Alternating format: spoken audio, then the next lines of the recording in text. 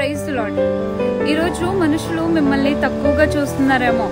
ఈరోజు మనుషులు మిమ్మల్ని దూరం పెడుతున్నారేమో. ఈరోజు మనుషులు మిమ్మల్ని తిరస్కరిస్తున్నారేమో. కానీ గుర్తుపెట్టుకోండి ఎవరైతే మిమ్మల్ని అవమానించారో ఎవరైతే మిమ్మల్ని తక్కువగా చూస్తున్నారో దేవుడు వాళ్ళందరి ముందు మిమ్మల్ని హెచ్చిస్తాడు.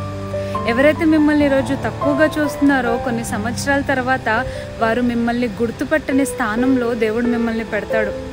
బైబిల్లో యోసేపు జీవితంలో కూడా ఇదే జరిగింది కదా.